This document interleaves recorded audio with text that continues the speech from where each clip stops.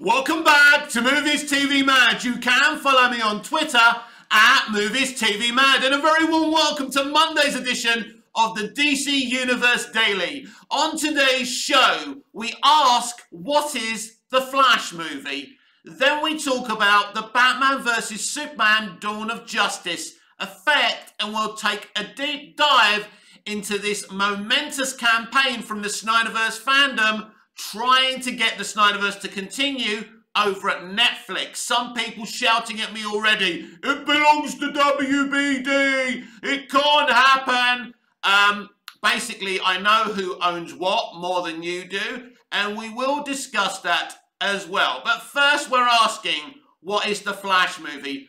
Um, a long time ago, I had the great privilege, as some of you who watch my channel, and if you don't normally watch the channel, please subscribe. I would be very, very grateful and always very grateful for the support. But I did have the great privilege to go and see the Flash movie with a test screening. I do believe I saw one of the most fullest versions of the movie in terms of length. So it will be very interesting because apparently this movie is still unlocked. Um, it's kind of insane if it's still unlocked at this time. What they kept in that movie. But what is the Flash movie? What is the core message it's trying to tell within its story? The message is, is about not being able to let go. Barry Allen, aka Ezra Miller, isn't able to let go of his mother. When we first meet him in Zack Snyder's Justice League, he's still investigating his mother's death because he's trying to prove his father's innocence. And the whole story, when he goes to visit his father in that film, his father wants him to move on and let go, and Barry doesn't want to. So, in this film, the Flash movie, after having a conversation with Ben Affleck's Bruce Wayne, Barry is convinced to use his Speed Force to go back in time to change the fact that his mum is no longer alive and he does this.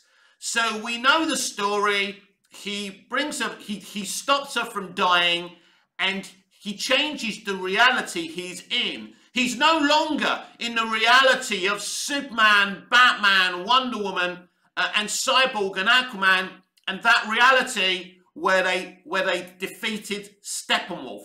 Things are different now. He's created an alternate universe. He's not on Earth 2 or Earth 3. He's created another version of the Earth he's actually from. And it's very under it's very important that people understand that.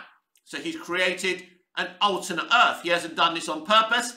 He just tried to save somebody's life, his mother's, but by doing one thing, by changing one thing, he changes everything. So what happens is there's no Superman because Zod murdered him on Krypton as a baby.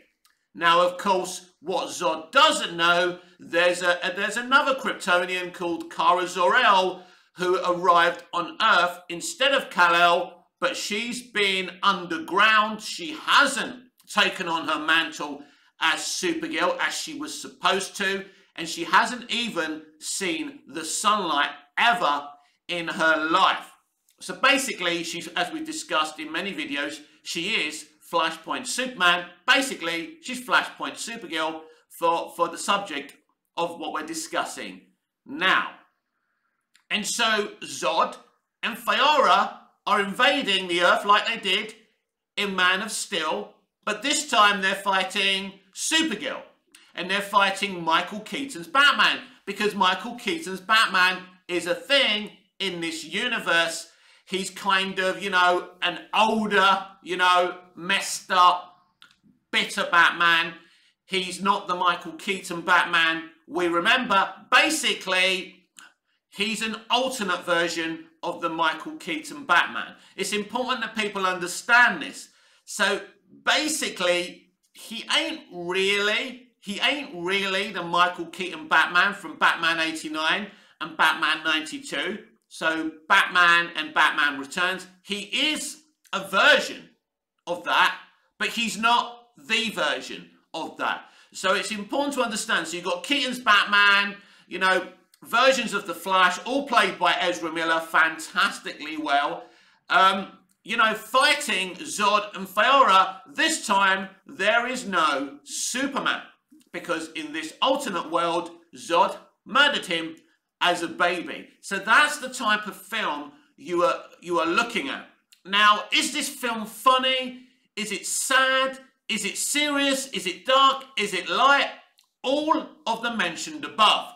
It has a little bit of everything for everyone. Now, the comedy does come from Ezra Miller playing a multitude of versions of this character on this alternate Earth.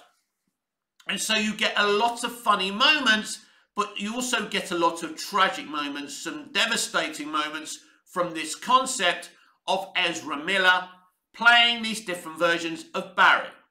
Now, I have to say, despite the real world Ezra Miller and his conduct, I think very few actors could have pulled this off. This is how talented Ezra Miller is. He pulls off playing different versions of this character with flying colours. And I think this is not just something that I'm saying.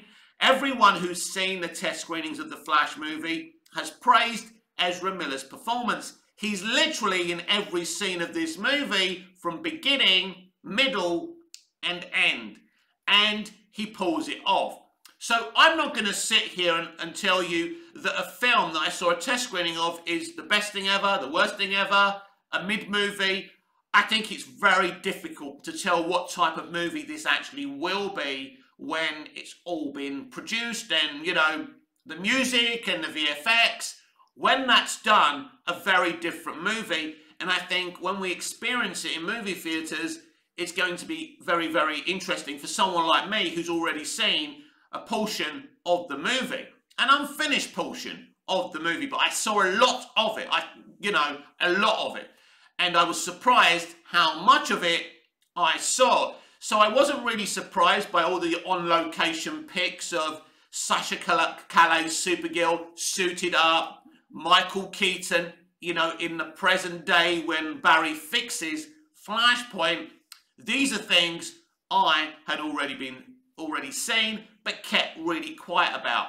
But the thing is now I can be a bit more open about what I've seen because a lot of the stuff has been proven to be true and is already out there. And so I, I really liked what I saw. And as I said last week, and I think what I'm going to do is do a flash video once a week so we can talk about this movie because it's a big part of this year's movie releases and it's probably the most important movie from the DC releases coming this year. Because we've got an interesting time. We've got four movies this year. Now, is it next year or 2024 when the Joker movie will be released. Is it 2024 the Joker movie's coming out? That's next year. I just forgot. I just forgot we're in 2023. That's so funny. So yeah, the Joker movie is apparently, is it 2024? It's coming out, I think. Now, in terms of the Batman sequel, I can't see it coming out next year.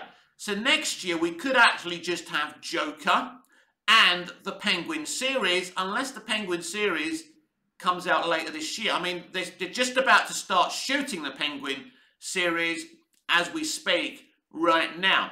So next year could be a dead year. So when James Gunn makes his announcements, I think you should expect 2025 is the year to expect his stuff to basically be released either on either on HBO Max or through theatres. So I think next year could be a pretty dead year apart from Joker for DC. But this year um, is a huge year, and I think the Flash movie is a huge movie. So the movie is about being able to let go. And, you know, Barry coming to terms with his reality. You see, he has to accept his mother's death. He has to. And by changing that one thing, he creates a nightmare scenario.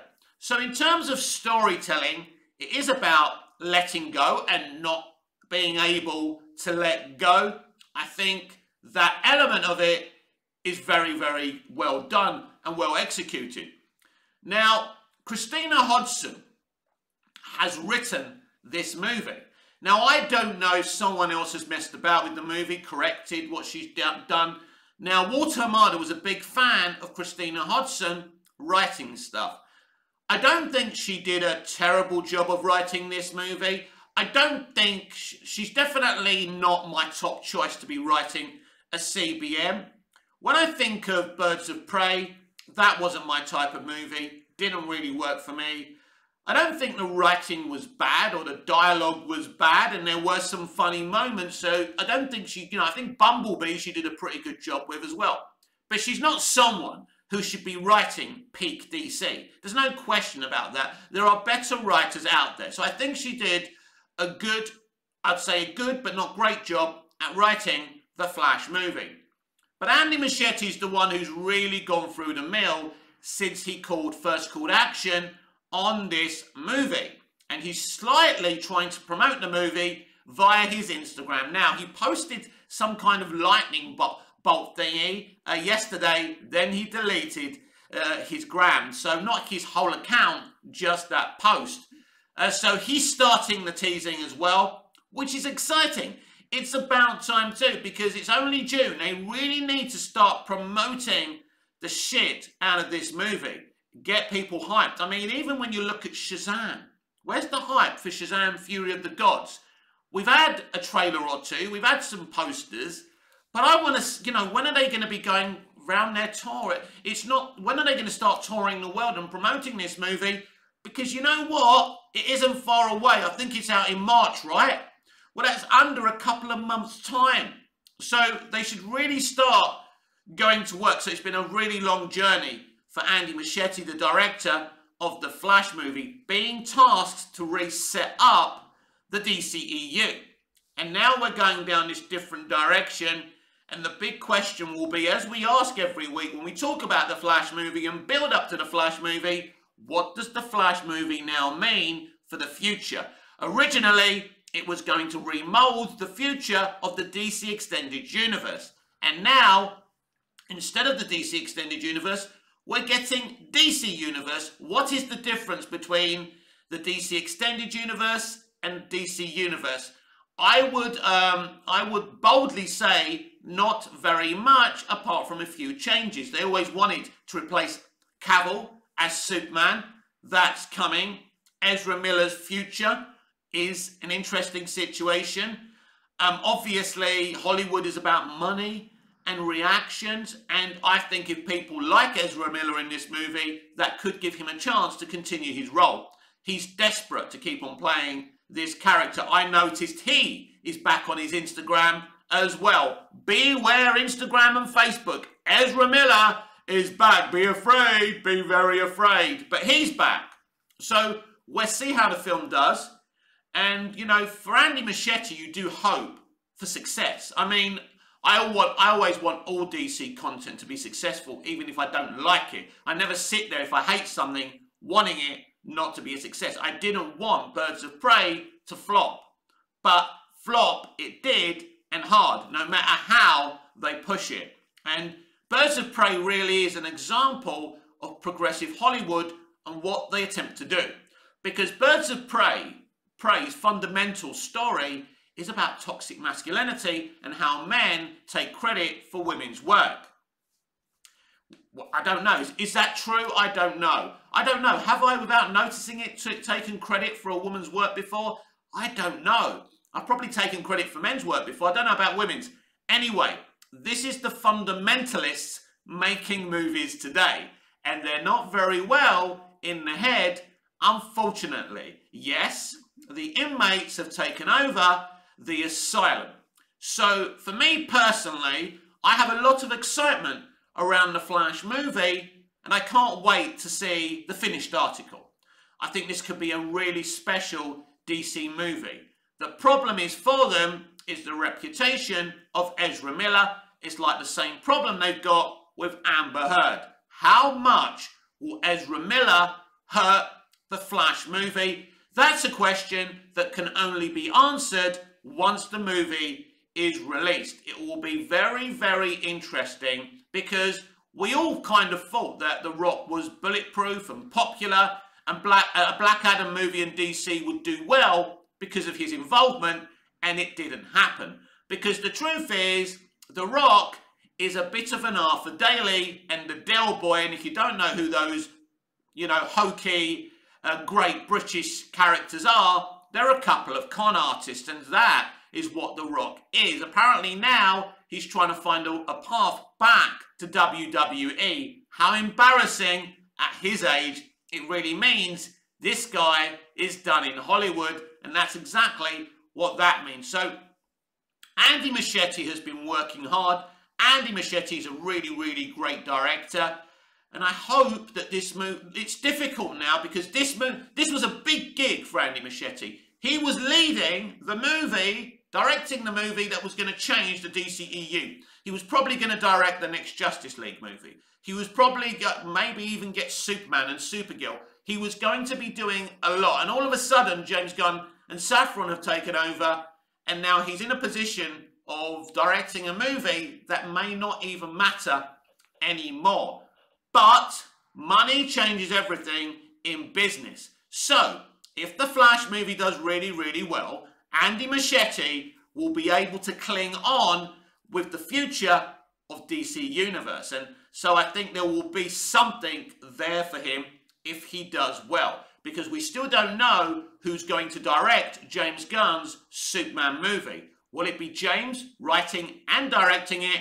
Or does Andy Muschietti have an opportunity um, to actually direct that movie? It'll be interesting to see what happens because, you know, does, does James even have the time to also direct a Superman movie? He knows how huge the Superman movie is, but does he have the technical ability to direct a Superman movie?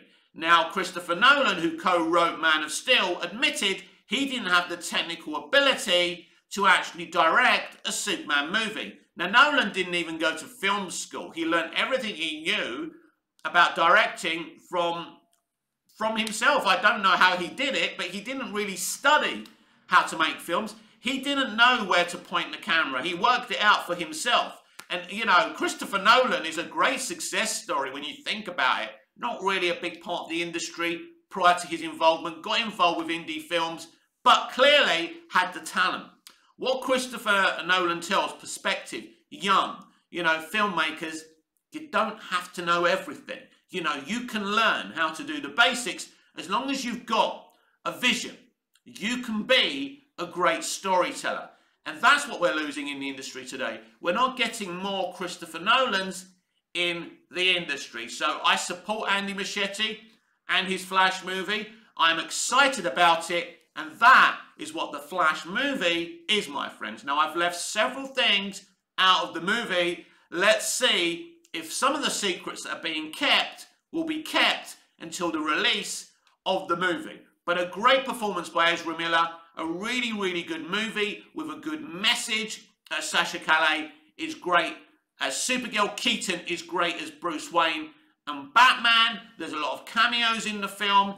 It's certainly a film to go and see. Whether or not people will be willing to support the movie with, with all of Ezra Miller's real world conduct, we'll have to wait and see.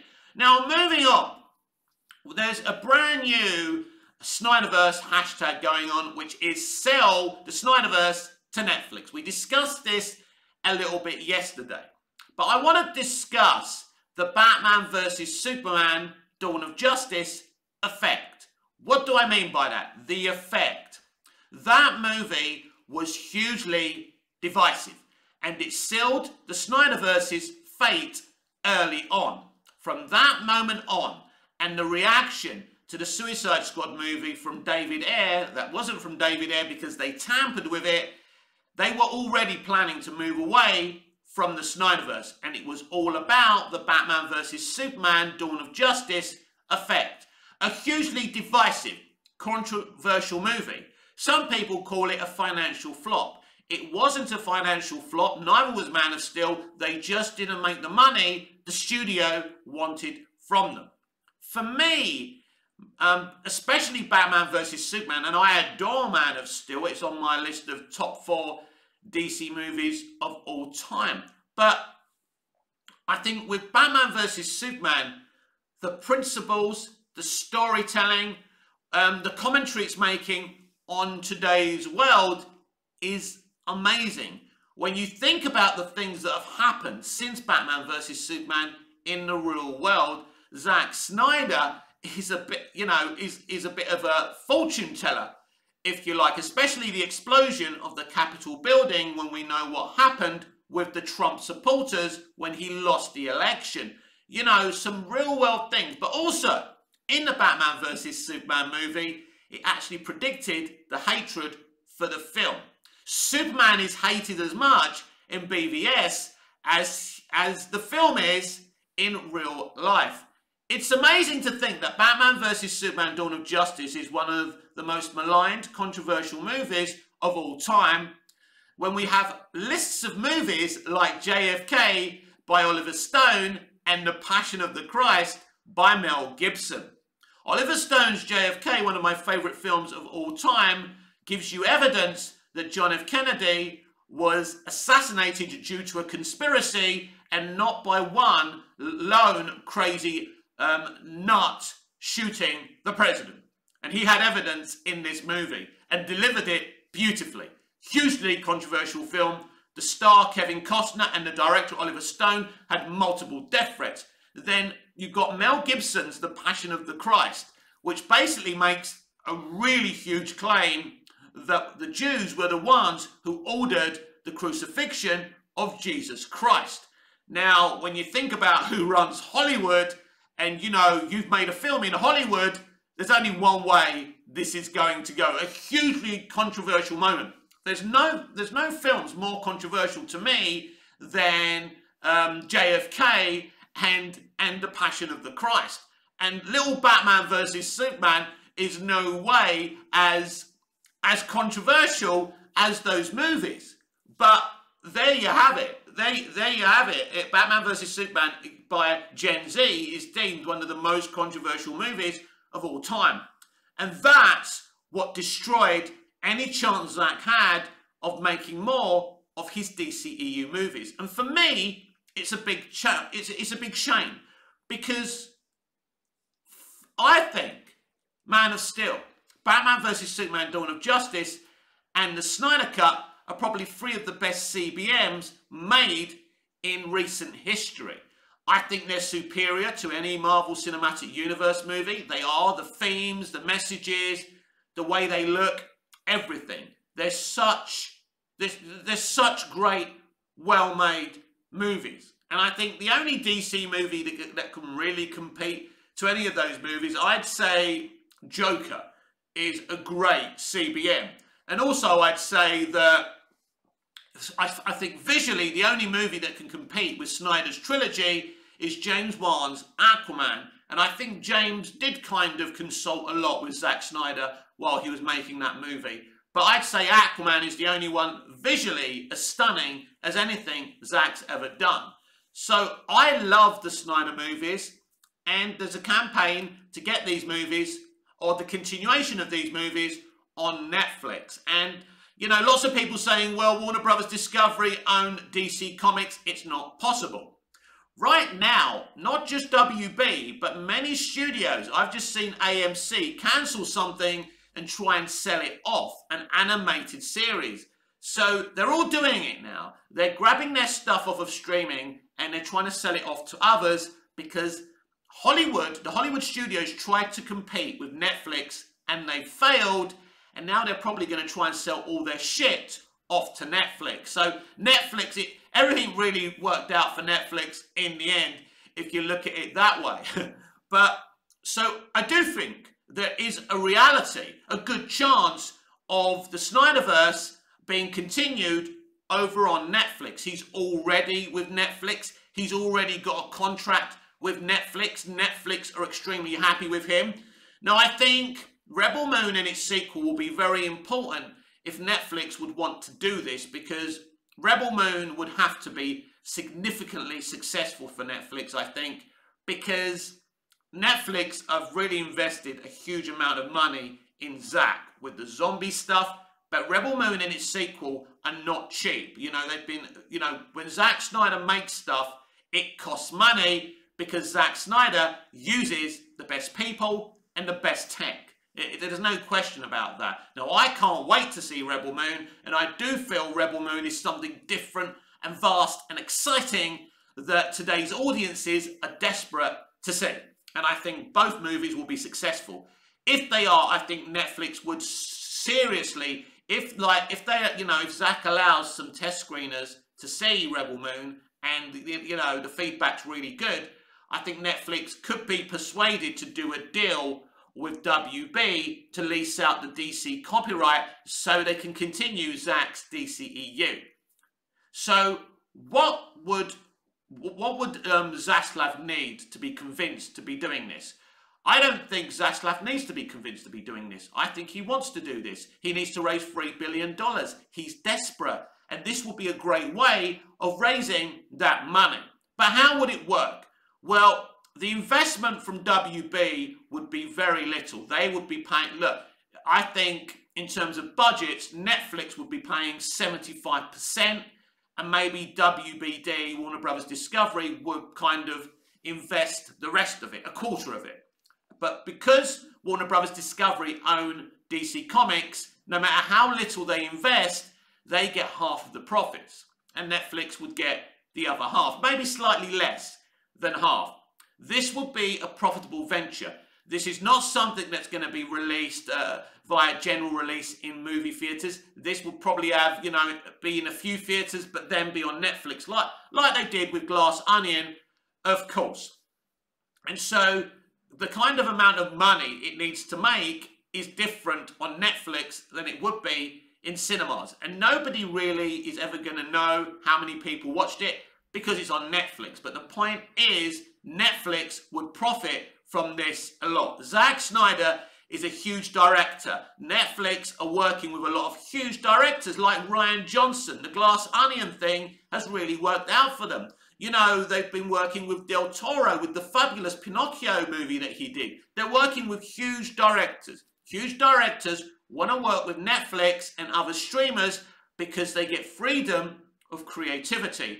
So this, my friends, would be the perfect scenario for Netflix and for the Snyder fans. I'm a Snyder fan as well, but I am a DC fan in general, and I think you all understand that by now. I'm not just here for Zack, but I love him. I think he's great, and I'm going to help you fight for this to get Netflix to produce the continuation of the DCEU Snyderverse via my channel. Now, I don't have a huge following. You can see my stats on my channel. Uh, there's no hiding it.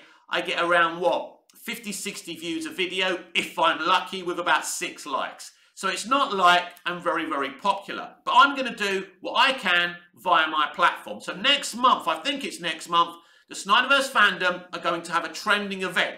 Hashtag sell the Snyderverse to Netflix. I will be supporting this. I think it's a brilliant idea. And I think what Snyder, I love the Snyder fans because they are thinkers. They are very, very clever people. They realise that Fire James Gunn hashtag, even though they've done hugely well out of it, isn't going to get them what they want. They're not going to fire James Gunn. It isn't going to work. It's futile. And now, now I feel I feel the Snyderverse fans have heard something about maybe discussions between Zaslav and Netflix and something happening here. So I think this is, I believe this is a reality. So this trending event is a really big moment. I think it's like that moment in that November when we were not celebrating the anniversary of the release of Justice League, but we did a trending event and it had a trend of over a million. Gal was involved, um, Ben Affleck was involved. It was huge. It was amazing. It was great memories for us Snyderverse fans. And we got the Snyder Cut released. And thank fuck for that. A four hour Justice League movie, a beautiful, stunning compelling four hour Justice League movie. And I'm proud and privileged to have fought with all of you to get that done. And I'm going to stand with you again because nothing would make me more happy to see the continuation of Zack's DCEU over on Netflix, a platform that's available for me here in Cyprus. The only streaming service, American streaming service, British streaming service, that's actually legally available to me here in Cyprus. Netflix is the best streamer It would be amazing. It would be exciting. And if these things work out, Zack can just keep on doing and doing these. And you know what? Does you know people say, well, does Zack really want this? He's doing Rebel Moon.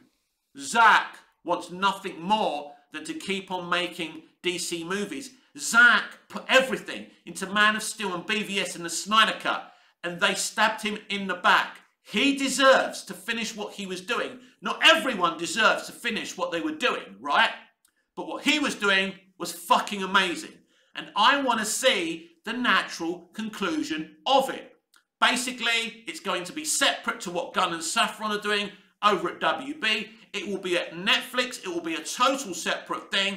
And because Gunn's doing DC Universe, you know, instead of DCEU, that kind of makes things less confusing for the fans. So I think they're already in talks. I think a trending event will just help them see that this is a great move. I think there are negotiations. This is what Zaslav and other studios are doing now. Because, as I said, studios have failed with trying to make successful streaming services. They tried to destroy Netflix, and Netflix destroyed them just by continuing to do their thing. And long live Netflix. They're the ones that come up with this streaming idea. It's fucking brilliant, and they do it the best. So I think this is a reality. I think you're going to see this with a lot of content at Warner Brothers Discovery, not just DC. They're going to sell their souls to the devil because Warner Brothers Discovery have taken over a failing company that makes very few billion dollar releases. And that, my friends, is the reality of the situation. So, yes, I'm fighting for this. I believe in this, but I'm also very intrigued to see what Gunn does with DC as well. Would it be amazing if Gunn succeeds, Snyder succeeds on Netflix with Rebel Moon, we get the Snyderverse on Netflix as well, and everybody's happy, and we don't have to be nasty to each other anymore? Wouldn't that be a beautiful world to live in? This has been Monday's edition of the DC Universe Daily with me, Mick, your host with the most just ask your girlfriends and your wife. Please like, share, comment, subscribe, hit the notification bell so you never miss this beautiful perfection. And I'll see you again tomorrow. Until I see you again, goodbye, au revoir, auf Wiedersehen.